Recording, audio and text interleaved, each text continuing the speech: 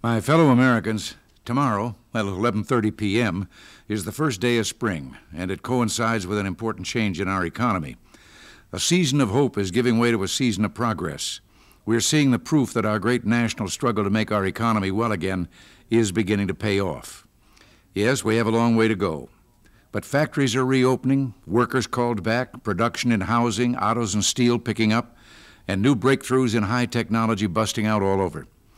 America is moving forward. The economy is growing stronger and stronger than most people, including ourselves, predicted. The question is no longer will we have recovery, but how long will recovery last? It's been nearly 20 years since the United States enjoyed a long lasting economic expansion that didn't trigger ruinous inflation and high interest rates. We're trying to build that kind of recovery now. We can have it if we stick to common sense and don't go back to the big spending and taxing addiction that brought this economy to its knees in 1980.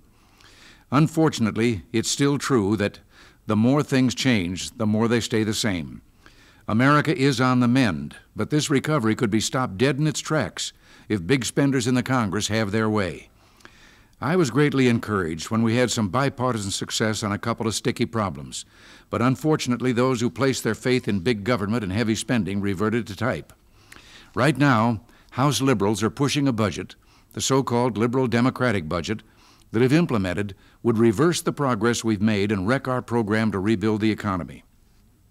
They want to throw out the window much of the domestic budget savings we've achieved over the last two years, and they would go much further, seeking $181 billion in higher domestic spending over the next five years, excesses that would send the budget, prices, and interest rates soaring out of control and our economy into a tailspin.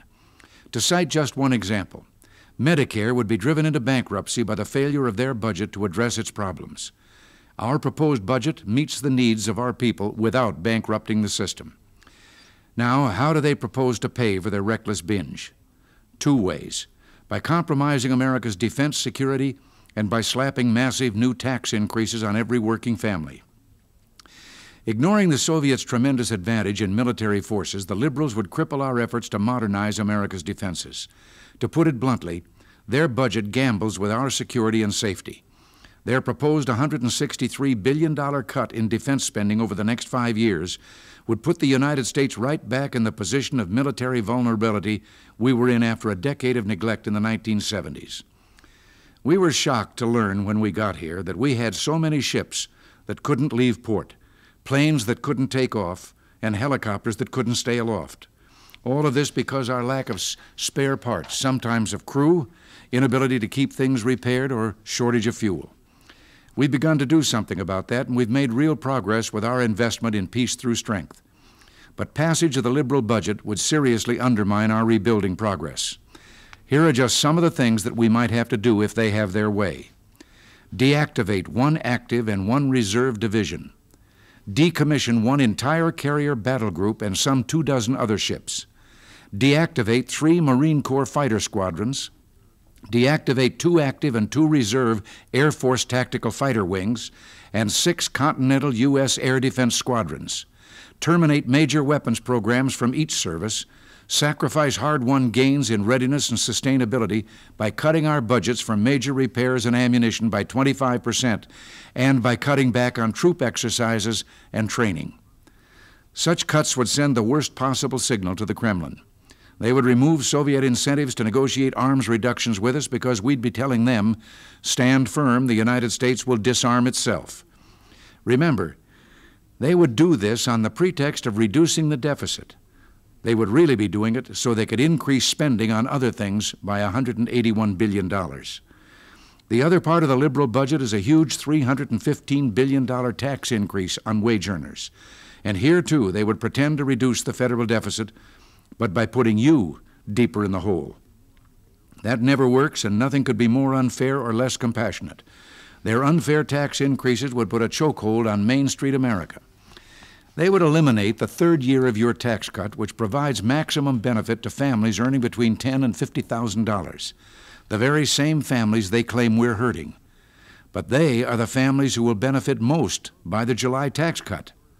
They also want to eliminate our historic reform of tax indexing. Indexing will protect you from being pushed into a higher tax bracket when you get a cost of living raise. Indexing prevents government from stealing a greater percentage of your earnings and leaving you with less purchasing power. And indexing helps low and medium income wage earners the most for one simple reason. The rich are immune to bracket creep.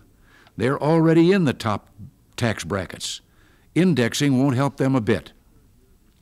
Attempts to take away the third year of your tax cut and indexing are simply gimmicks so they can spend more of your money.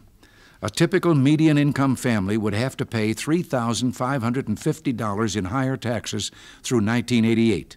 The people who want to do this are the same ones who left us with 12.4% inflation in 1980 and the highest interest rates in more than 100 years. Well, let me make one thing plain. After all our national struggle to reduce inflation, to begin controlling a government which grew bloated at your expense, to bring down interest rates and make the dollar worth something again, after helping you to increase personal savings, worker productivity, and our industrial and military strength, after winning the fight to lower your taxes so we could restore hope and build new incentives into the economy, after all these hard won victories earned through the patience and courage of every citizen, I don't want America's recovery and security to be sacrificed on an altar of discredited, hand me down theories. And if you'll help us, they won't be. Until next week, thanks for listening, and God bless you.